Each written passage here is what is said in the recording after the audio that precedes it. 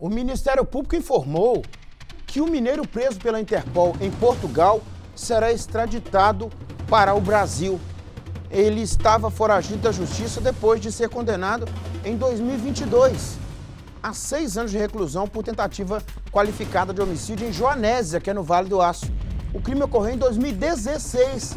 A Gisele Ferreira está chegando para contar desse caso, né? Envolve Interpol, a Polícia Brasileira, a Justiça Brasileira, envolve o Instituto da Extradição, que é um, estudo, um instituto complexo quando a gente está estudando direito, né? O brasileiro pode ser extraditado, não pode ser extraditado, como é que funciona isso? Mas você tem a informação, Gisele. Boa tarde.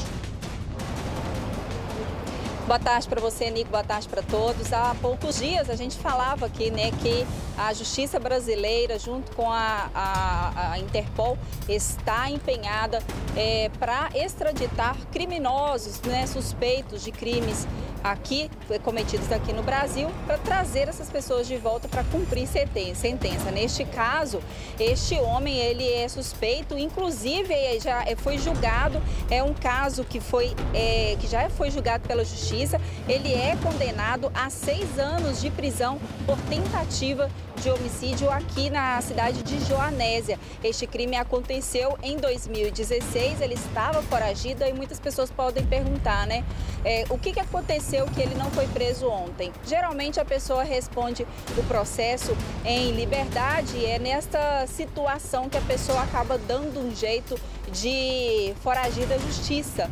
Mas agora o Ministério Público pediu a captura e a prisão do sentenciado, que foi expedido pela Interpol na última sexta-feira.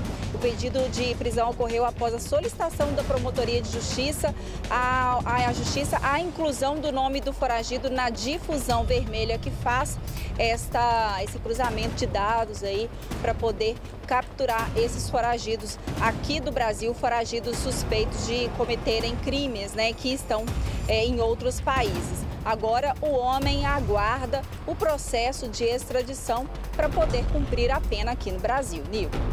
Curioso, né, Gisele, que quando a pessoa está respondendo um crime assim, um crime tão grave, as autoridades costumam, né, na, na decisão lá, o juiz costuma solicitar né, a retenção do passaporte, que é o, o meio que a pessoa utiliza para entrar em outro país. Mas a gente sabe, né, que como é que funciona algumas coisas aqui na nossa região. A pessoa comete o crime aqui, vai para outro lugar, não vou para Portugal, vou para França, vou para Inglaterra. Né? Chega lá, a Interpol de olho. O sistema é todo integrado.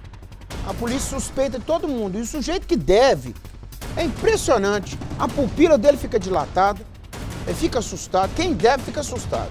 É. Só cachorro, viu, Gisele, que consegue olhar para a pessoa que deve alguma coisa e no cheiro o cachorro. Mas o cachorro não sabe falar. Se soubesse, você falava, é, esse camarada devendo alguma coisa. É, é. Obrigado, viu, Gisele, por sua informação.